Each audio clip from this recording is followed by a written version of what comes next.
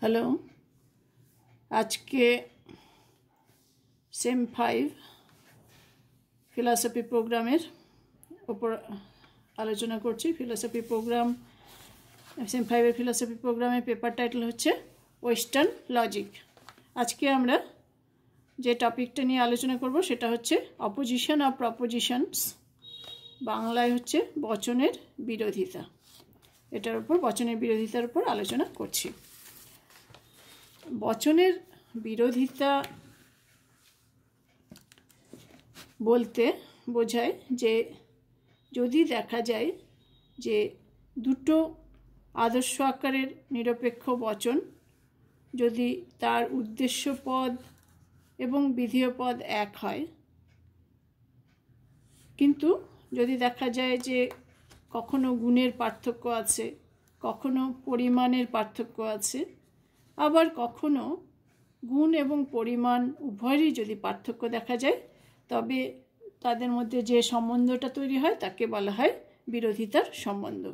আমরা দেখেছি যে চারটে নিরপেক্ষ বচন আছে, এ, ই, আই, ও। এই চারটা নিরপেক্ষ বচনের মধ্যে যে কোনো বচনের সাথে যে কোনো বচনের সম্বন্ধ আছে। যে কোনো দুটো বচন যদি নেই আমরা, তাহলে দেখব যদি দেখা যায় যে বচন দুটোর উদ্দেশ্য পদ এক হবে এবং বিধেয় পদ এক হবে, কিন্তু তাদের মধ্যে যদি দেখা যায় যে গুণের হয় গুণের পার্থক্য আছে, না হয় পরিমাণের পার্থক্য আছে, না হয় গুণ এবং পরিমাণ উভয়েরই পার্থক্য আছে, তখন তাদের সম্বন্ধটা হবে বিরোধী, যে সম্বন্ধটা হবে তা সেই সম্বন্ধটাকে বলা হয় বিরোধিতার সম্বন্ধ। বচনের বিরোধিতার ক্ষেত্রে আমরা দেখি যে একটা বচনের সত্যতা বা মিথ্যাত্ব থেকে অপর যে অনুরূপ বচনটা আছে, তার সত্যতা বা মিথ্যাত্বকে অনুমান করা যায়। আমরা প্রচলিত যুক্তিবিজ্ঞানে চার ধরনের বিরোধিতা দেখতে পাই। এক নম্বর, বিরুদ্ধ বিরোধিতা। ইংরেজিতে বলা হয় কন্ট্রাডিক্টরি অপোজিশন দুই নম্বর হচ্ছে বিপরীত বিরোধিতা। ইংরেজিতে বলা হয় কন্ট্রারি অপোজিশন তিন নম্বর হচ্ছে অধীন বিপরীত বিরোধিতা।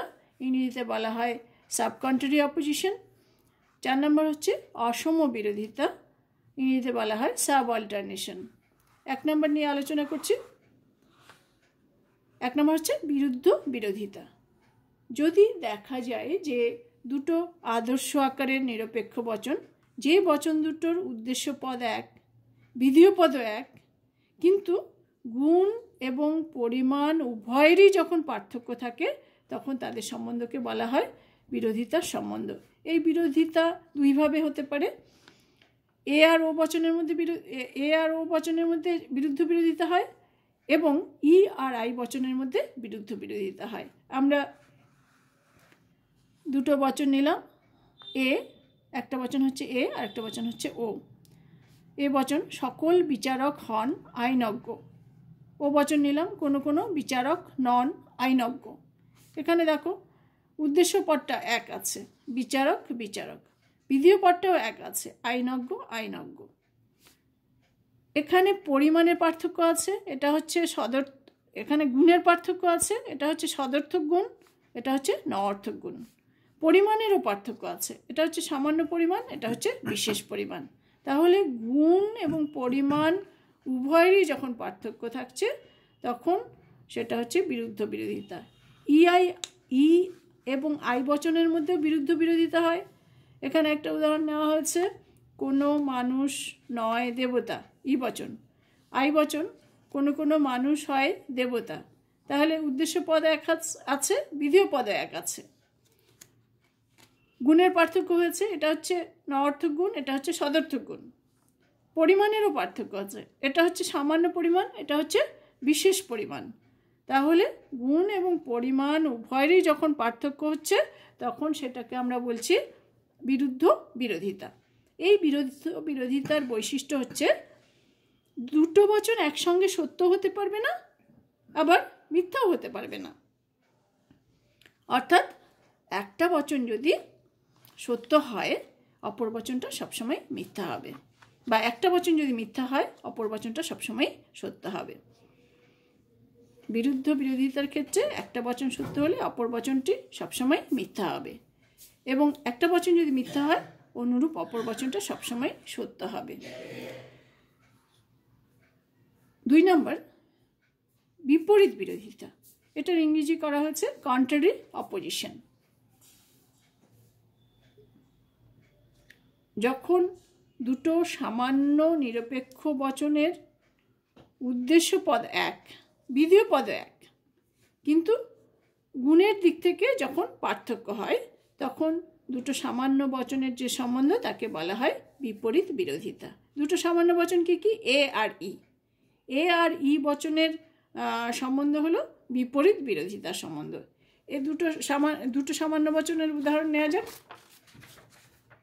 একটা এ বচন নিলাম, সকল মানুষ হয় মরণশীল। সকল মানুষ হয় মরণশীল। এটা এই বচন নিলাম, কোনো মানুষ নয় মরণশীল। এখানে দেখো উদ্দেশ্য পদ এক আছে বিধিও পদ এক আছে। পরিমাণটাও এক আছে, এটাও সামান্য পরিমাণ, এটাও সামান্য পরিমাণ। পার্থক্য শুধু গুণের, এটা হচ্ছে সদর্থক গুণ, এটা হচ্ছে নঅর্থক গুণ। তাহলে দুটো সামান্য বচনের উদ্দেশ্য পদ এক বিধিও পদ এক, পরিমাণও এক, দুটোই সামান্য যেহেতু পরিমাণও এক, শুধু গুণের পার্থক্য থাকবে যখন একটা সদর্থক গুণ হবে আর একটা নঅর্থক গুণ হবে, তখন সেই বচন দুটো সম্বন্ধকে বলা হবে বিপরীত বিরোধিতার সম্বন্ধ। এই বিরোধিতার ক্ষেত্রে বৈশিষ্ট্য হচ্ছে দুটো বচন একসঙ্গে সত্য হতে পারে না। কিন্তু উভয়ই একসাথে মিথ্যা হতে পারে। এটার মানেটা কি? একটা বচন যদি সত্য হয়, তাহলে অনুরূপ বচন, অনুরূপ যে আরেকটা বচন, সেটা সবসময় মিথ্যা হবে। দুটো বচন একসঙ্গে সত্য হবে না মানে একটা সত্য দেওয়া থাকলে অপরটা সবসময় মিথ্যা হবে। কিন্তু একটা বচন যদি মিথ্যা দেয়া থাকে, তাহলে অপর বচনটার মিথ্যা হওয়ার সম্ভাবনা আছে। মানে সেটা মিথ্যাও হতে পারে, আবার সত্যও হতে পারে। তার মানে অপর বচনটা অনির্দিষ্ট হবে।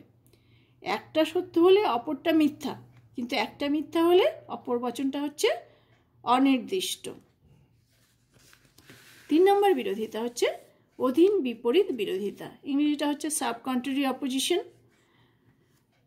যদি দেখা যায় যে দুটো বিশেষ বচন, যে বচন দুটোর উদ্দেশ্য পদ এক বিধিও পদ এক, কিন্তু গুণের দিক থেকে যখন পার্থক্য থাকে, যেহেতু দুটো বিশেষ বচন পরিমাণও এক শুধু গুণের পার্থক্য যখন হচ্ছে, একটা বচন সদর্থক হবে আর একটা বচন অর্থক হবে যখন, তখন সেই দুটো বচনের সম্বন্ধকে বলা হবে অধীন বিপরীত বিরোধিতার সম্বন্ধ।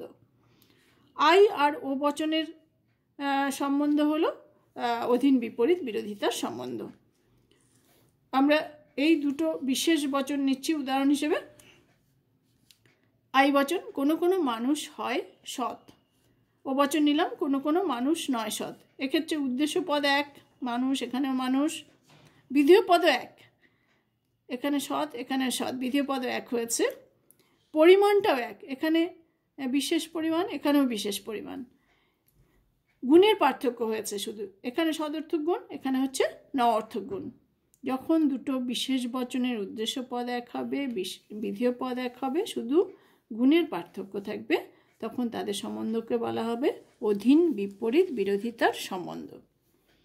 এর আগের বিরোধিতার ক্ষেত্রেও আমরা দেখেছি যে শুধুমাত্র গুণেরই পার্থক্য। এখানেও দেখলাম শুধুমাত্র গুণেরই পার্থক্য, কিন্তু আগেরটা অর্থাৎ বিপরীত বিরোধিতা ছিল দুটো সামান্য বচনের মধ্যে, এক্ষেত্রে দুটো বিশেষ বচনের মধ্যে সম্বন্ধ।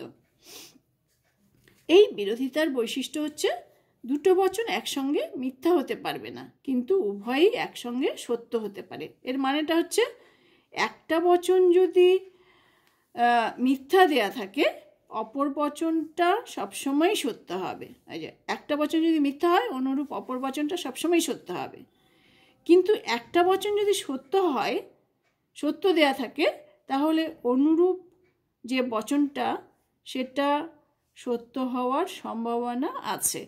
অর্থাৎ সেটা সত্যও হতে পারে, আবার মিথ্যাও হতে পারে। তার মানে বচনটা হচ্ছে অনির্দিষ্ট হবে। চার নম্বর হচ্ছে অসম বিরোধিতা অসম বিরোধিতার ইংরেজি হচ্ছে সাব অল্টারনেশন এক্ষেত্রে দুটো আদর্শ আকারের নিরপেক্ষ বচনের যদি দেখা যায়, উদ্দেশ্য পদ এক বিধিও পদ এক গুণও এক। পার্থক্য শুধু পরিমাণের। তবে তাদের সম্বন্ধকে বলা হবে অসম বিরোধিতার সম্বন্ধ। অসম বিরোধিতা দুটো বচনের মধ্যে কোন দুটো? এর সাথে আয়ের পরিমাণের পার্থক্য শুধু। এ হচ্ছে সামান্য পরিমাণ, এটা হচ্ছে বিশেষ পরিমাণ। ইর সাথে ও এর। ই হচ্ছে সামান্য পরিমাণ, এটা হচ্ছে বিশেষ পরিমাণ। এ বচনের উদাহরণ নিলাম। সকল মানুষ হয় সৎ। আই বচনের উদাহরণ নিলাম। কোনো কোনো মানুষ হয় সৎ। তাহলে এখানে উদ্দেশ্য পদটা এক আছে বিধিও পদটাও এক আছে। গুণটাও এক আছে। শুধু পার্থক্য হচ্ছে পরিমাণের। এখানে সামান্য, এখানে হচ্ছে বিশেষ। এক্ষেত্রেও দেখবে উদ্দেশ্য এক বিধিও এক, গুণটাও এক, পরিমাণের পার্থক্য। এটা হচ্ছে সামান্য পরিমাণ, এটা হচ্ছে বিশেষ পরিমাণ। এই সম্বন্ধকে ই আর ও এর সম্বন্ধকে এ আর আই এর সম্বন্ধকে বলা হয় অসম বিরোধিতার সম্বন্ধ। অসম বিরোধিতার ক্ষেত্রে সামান্য বচনটাকে বলা হয় সুপার অল্টান, বিশেষ বচনটাকে বলা হয় সাব অল্টান। এই বিরোধিতার বৈশিষ্ট্য হচ্ছে বৈশিষ্ট্য হচ্ছে সামান্য বচনটার সত্যতা বিশেষ বচনটির সত্যতাকে প্রতিপাদিত করে, কিন্তু বিপরীত কথা সত্য নয়। এটার মানে হচ্ছে, সামান্য বচনটা যদি সত্য হয়, তাহলে বিশেষ বচনটা অবশ্যই সত্য হবে। কিন্তু বিশেষ বচনটা যদি সত্য হয়, সামান্য বচনটা সত্যও হতে পারে, মিথ্যাও হতে পারে, তার মানে অনির্দিষ্ট। সামান্য বচন সত্য হলে বিশেষ বচন সত্য হবে, বিশেষ বচন সত্য হলে সামান্য বচন অনির্দিষ্ট। দ্বিতীয় আরেকটা বৈশিষ্ট্য হচ্ছে বিশেষ বচনটা যদি মিথ্যা হয়, তাহলে অনুরূপ সামান্য বচনটা সবসময়ই মিথ্যা হবে। কিন্তু বিপরীত কথা সত্য নয়। এটার মানে হচ্ছে, বিশেষ বচনটা মিথ্যা হলে সামান্য বচন মিথ্যা। কিন্তু সামান্য বচন মিথ্যা হলে বিশেষ বচনটা হচ্ছে অনির্দিষ্ট।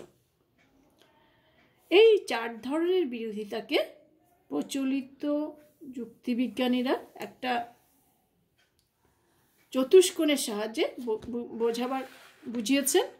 চতুষ্কোণটা এরকম। A, E, I, O. একটা চতুষ্কোণ নেওয়া হলো। এখন দেখো, আমরা এর সাথে ওকে যদি এখানে লাইন টেনে দিই, তাহলে এর সাথে ও এর একটা সম্বন্ধ আছে, ইর সাথে আইয়েরও একটা সম্বন্ধ আছে। আমরা দেখেছিলাম এর সাথে ও এর হচ্ছে বিরুদ্ধ বিরোধিতা সম্বন্ধ। এবং ইর সাথে আইয়েরও হচ্ছে বিরুদ্ধ বিরোধিতা সম্বন্ধ। প্রথম প্রথম বিরোধিতাটা।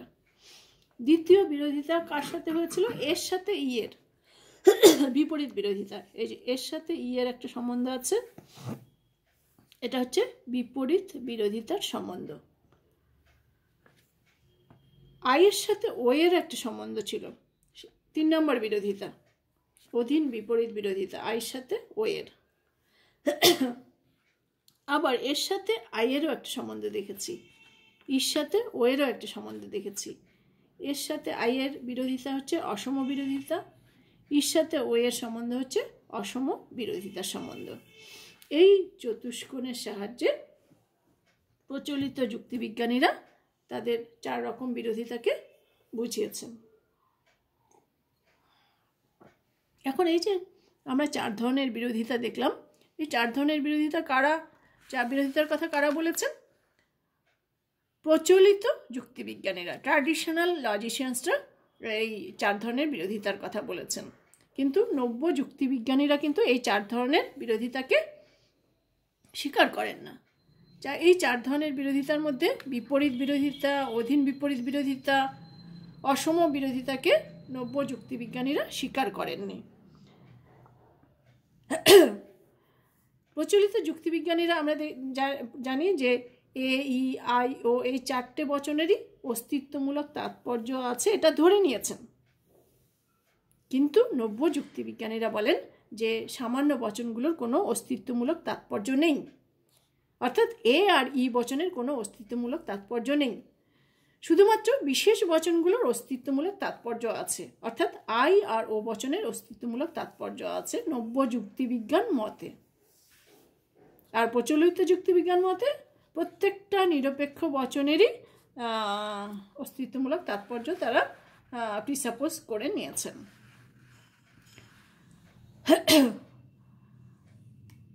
এখন নব্য যুক্তিবিজ্ঞানীদের মতে যদি বিশেষ বচনের, শুধুমাত্র যদি বিশেষ বচনের অস্তিত্বমূলক তাৎপর্য থাকে, তাহলে এ আর ই একই সাথে সত্য হবে।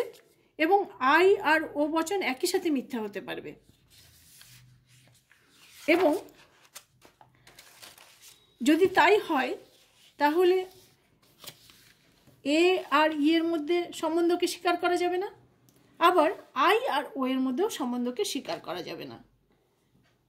যদি এইরকম একটা বচন নেওয়া হয়, এ বচন নেওয়া হলো সকল মঙ্গল অধিবাসী হয়, সোনালী চুলের অধিকারী।